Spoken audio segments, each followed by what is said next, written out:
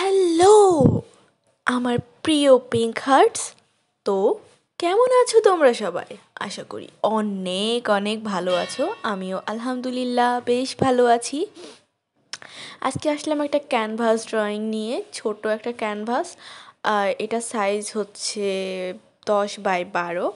এটাতে আমরা আজকে আঁকবো একটা ফ্লাওয়ার ভাস্ট এখানে আমি ফ্লোরোসেন্ট কালার ব্যবহার করেছি। আমি ব্যাকগ্রাউন্ডে একটা পুরনো কাপড় পেতে নিয়েছি যাতে কালার লেগে আমার কোনো ভালো কাপড় না বা ভালো কোনো কিছু নষ্ট না হয়। এখানে আমি প্রথমে গোলাপি রং, তারপরে বেগুনি রং এবং বেগুনি আর গোলাপির মাঝখানে আকাশি রং ব্যবহার করেছি এবং কর্নারেও কিছুটা আকাশি রং নিয়ে নিয়েছি এবং তার মাঝখানে দিয়ে নিয়েছি সাদা। এবার এগুলোকে আমি ভালোভাবে ব্লেন্ড করে নেব একটা তুলির সাহায্যে।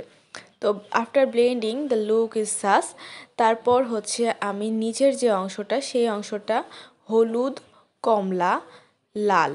এই তিনটা কালার মিক্স করে ব্লেন্ড করে নিয়েছি। আর তারপরে একটা ব্রাশ তুলি দিয়ে আমি এইভাবে তোমরা টেকনিকটা দেখতে পাচ্ছ, এই টেকনিকে এরকম একটা শেপ নিয়ে আসার ট্রাই করছি।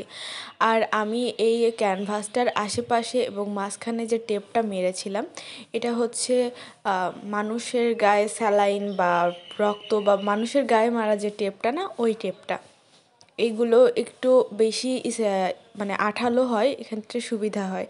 তো পরবর্তীতে আমি মাঝখানে আর একটু আকাশি রং দিয়ে ব্লেন্ড করে নিয়েছি। দুইটার মাঝখানে একটা কম্বিনেশন আনার জন্য। আর ফুলগুলো আমি এঁকেছি লাল, কমলা গোলাপি।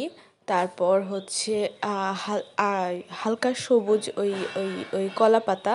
তারপরে হচ্ছে গোলাপি আর সাদা রং দিয়ে। ওভারঅল লুকটা এমন। ভিডিওটি শেষ পর্যন্ত দেখার জন্য অসংখ্য ধন্যবাদ। ভালো লাগলে একটা লাইক করে দিও। চ্যানেলে প্রথম হলে সাবস্ক্রাইব করে নিও।